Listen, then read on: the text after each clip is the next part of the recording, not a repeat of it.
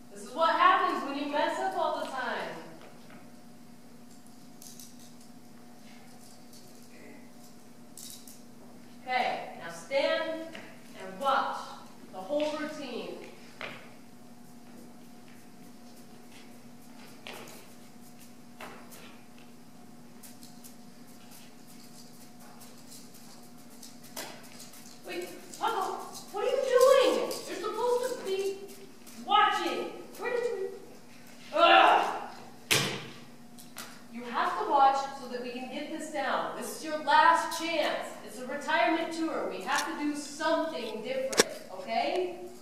All right, now just watch.